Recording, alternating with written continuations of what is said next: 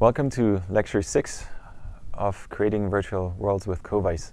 I'm still Jürgen Schulze with UCSD. And uh, today we're going to talk about collaborative applications. Now, um, we've mentioned collaboration and collaborative modes in COVISE before. Um, now we're going to go a little bit more into detail. And there are really two levels of collaboration that we can do in COVISE. One is collaborative maps, where some of the modules are run on different systems. And then in OpenCover, we can run applications collaboratively where we have separate OpenCover instances running in various places in the world. Or maybe even in the same lab, but um, not in the same system. Distributed maps is the first topic where we can run some of the modules of a map on a different system.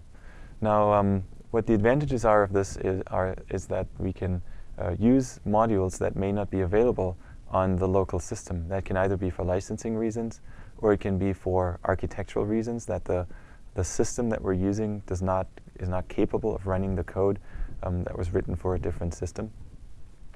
It can also be uh, used in order to utilize CPU resources more efficiently. That can be the case if there's a more powerful machine somewhere else that we want to uh, run part of the, the data pipeline on or it can be that there's a, a not a single po more powerful machine, but a whole cluster, a whole supercomputer perhaps, um, that we want to run a portion of the computational load in our in our data map on. Uh, another another often or probably the most frequently used in our graphics world is the way that we would run our open cover renderer on the um, on a system where we have a COVISE map, and then the OpenCover renderer would actually run on a different system, which is the display system, the, the cave system. So that's a way to use um, distributed maps by doing all the map, all the data flow on one computer, and then um, uh, sending the result to a render on a different system. Now I want to look a little bit more closely at how this works when modules run on different systems. This is an example for a local session where everything runs on the same system. We have a GUI, we have a controller, that's a COVISE controller, it's a unit that, um, that manages the modules.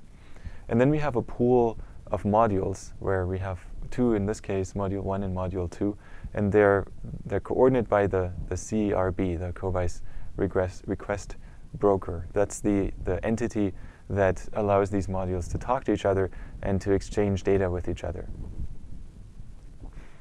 Now, in a distributed se session, we have also one GUI and one controller, but we have a pool of modules on the local system and we have a pool of modules on the remote system. And you can see that here we have a renderer module here and we have a reader and a filter module there.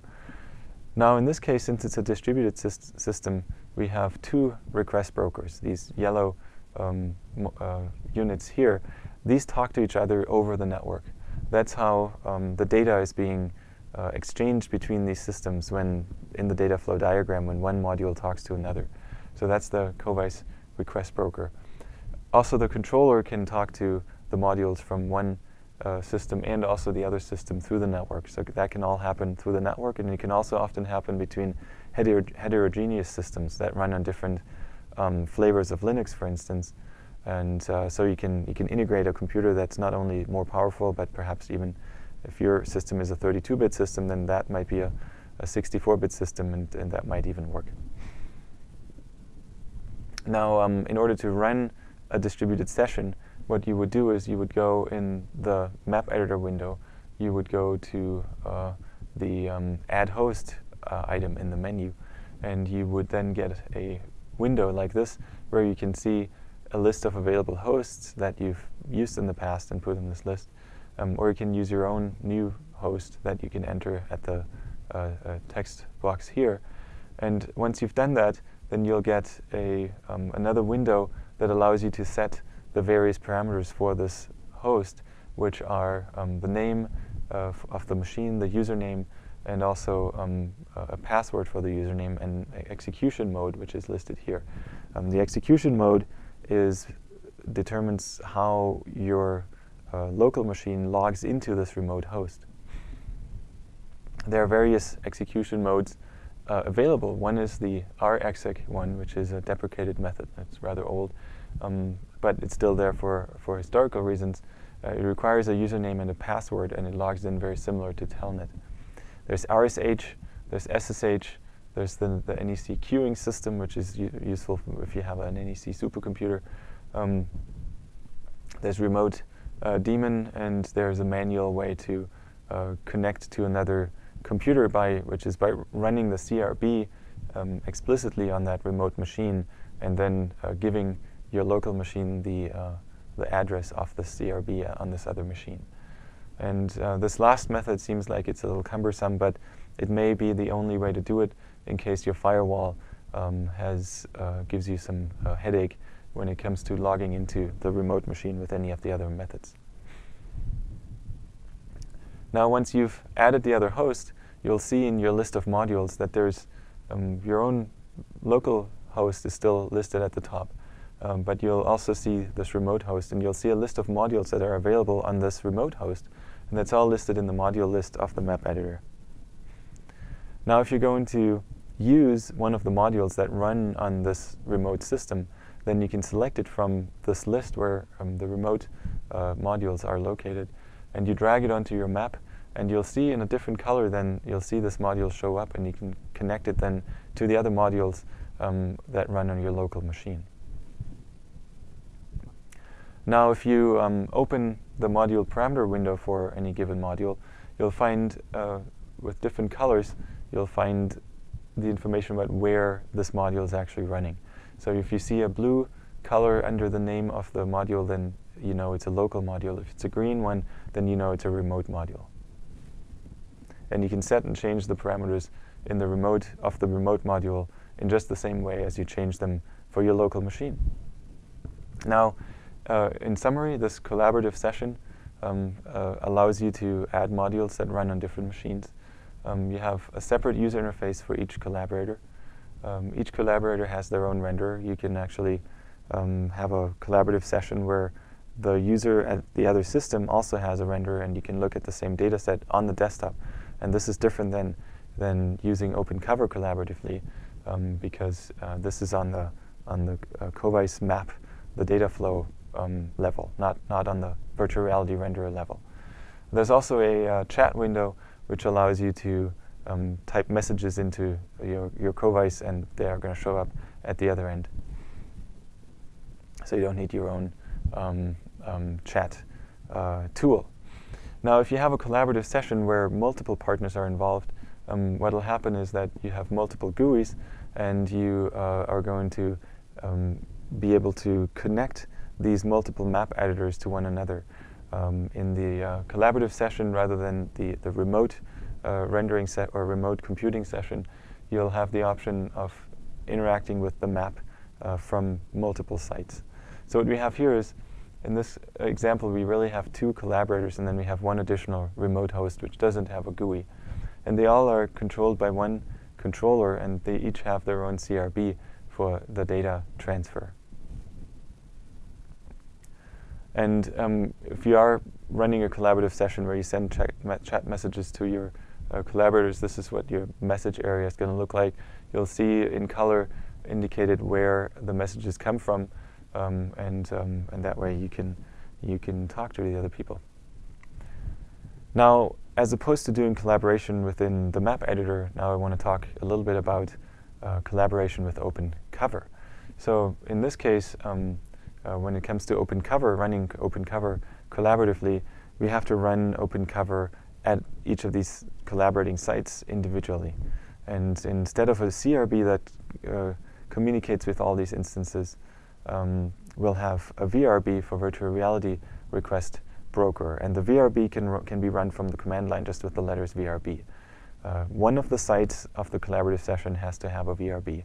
The other sites can then connect to that VRB, configure it in their COVISE config file, um, in order to uh, make the connection to it and, and make it a collaborative session. Once you're in collaborative mode, um, you'll find an avatar which indicates the position, location where these collaborators are in the virtual space. Um, this avatar consists of, of a set of glasses and a hand. Um, you'll see it uh, in a little bit. The, um, the, the data that you look at is typically not distributed at the startup of the, of the application, but you would distribute it offline. So if you have a large data set, you would copy it overnight, say, and then you can do your collaborative session because every site then will have this data set locally. Um, but you can still, as long as the data set doesn't change, you can still collaborate and look at this data set uh, from all the sites, and, you'll, and the system will keep it um, uh, in sync. This way of collaborating has low bandwidth requirements because the data gets transferred um, offline, and then when you're online, all you transfer is the position um, of the users, and you transfer the, the menu um, interaction that the users do so that you can synchronize that in case that's desired. Um, there's also uh, uh, another aspect that I mentioned in an earlier lecture, which is the tablet UI interface. If you run tablet UI on the command line of your system with Covise installed, you'll find a um, window coming up which has a bunch of tabs which are for the various modules um, and plugins that you're running. And this uh, tablet UI interface can be run on a tablet PC. That's why that's what it was originally developed for. And then you can bring that tablet PC into your uh, virtual environment to control certain parameters that are perhaps easier to control with a tablet PC rather than with the, um, the 3D input device in the, in the virtual environment the tablet UI um, is actually really, uh, I would recommend that you look at that because it's very useful in many cases. It's easy to program. There's also sample code in the, um, um, there's sam uh, uh, sample code in the uh, Covise installation that shows you how you can, you write your own tablet UI entry. Now when it comes to the uh, various modes of collaboration, there are three major collaboration modes. That there's loose coupling, tight coupling, and master-slave coupling. Now in loose coupling, what happens is that all the sites that, that participate in the collaborative session, um, they all uh, run at the same time. They're all, they're all linked uh, in this collaborative mode, but every user can fly freely around the dataset, manipulate the data independently uh, from the other users. So you're independent of the others. Now, when you use the cooperative options menu, which, is, uh, which will show up in the main Covise menu, um, in OpenCover, you'll uh, see this menu as soon as you link up multiple sites. When you click on tight coupling while you're in loose coupling, what you'll notice is that all of a sudden, uh, depending on who clicks it, the other users, the other collaborators are going to be, uh, um, they're, they're going to sort of be switched to the same view that the person that clicks tight coupling has. And that means that your, your view, when you're one of the collaborators um, that haven't clicked tight, um, your view will all of a sudden change, and that'll be the view of the of the the master of this uh, collaboration. In tight coupling, as opposed to master-slave coupling, though, um, anyone who who uh, uses the mouse from the moment on that you went into tight coupling um, is the the one who determines the viewpoint. If multiple people fly around at the same time, they can locally fly around differently, but as soon as one of them um, gets um, uh, lets go of the button, they'll switch back to the user that's still holding the button down. Now, um, since that's sometimes undesirable, but you really want to have a mode where one user is the master and everybody else is synchronized to that person, uh, that can be useful for presentations, for training, then you would go into master-slave mode where only this one person is going to have the, um, the power to uh, move the data set around. And this master mode um, can be transferred to the others if the master so desires. The avatar that I mentioned looks like this. It's a little, a little faint, but there's a, a 3D model of a set of stereo glasses up here, which is rendered exactly where the uh, uh, head tracker data is located. There's a hand, which is rendered where the wand is located at, and its and its orientation is made so that it, it um, corresponds to the orientation of the, the, the pointer line at that site. And then there's a foot. Um, it's sort of a, it's a, a, checkerboard grid at the, at the, on the ground that's always displayed just straight down from the head. And you can configure your own, your own um, uh, texture or image for it so that in a collaborative session you can uh, distinguish the various collaborators by looking at their, at their ground plane with the, um, with the uh, uh, image attached to it. The VRB that I mentioned looks like this. When you run VRB from the command line, you'll get this window. Uh, in this window, you can do you can click the various tabs to see statistical information about the network connection. Um, but you can't really do much in terms of um, visualization. There's there's no way to uh, set viewpoints to change collaboration modes in the VRB. That's not what it's there for. It's there to connect the various sites. There's a list on the left-hand side that lists all the sites that have connected to the session. And in order to make um, uh, to connect to someone else's VRB for a collaborative session, you will have to add these lines to the COVISE config file. And the, the really the two values that you need are the IP address of the machine that the VRB runs on, and you need the port that the VRB is configured for. And if you have that and the firewall um, allows you through, you should be able to connect to that, um, to that server and uh, all the other participants in the collaborative session need to do the same thing in order to be linked up for a collaborative session. This is a, a, a diagram of what that would look like. There's a VRB server which can actually be the same machine as one of the collaborating sites, but it doesn't have to. Um, and then there are the participating sites that connect to the VRB. Now, if you want to have more information about the collaborative modes of COVISE and OpenCover, then I would like to uh, refer you to this website. This is um, at the University of Cologne, where, which is another one of the major um, uh, COVISE developer sites. And at this website, there is a COVISE tutorial, um, online tutorial, which uh, includes under the advanced topics category this um, the background for what we've discussed in lecture six. This concludes the course, and um, thank you very much for um, listening to it, and good luck with all your COVISE programming efforts. Thanks.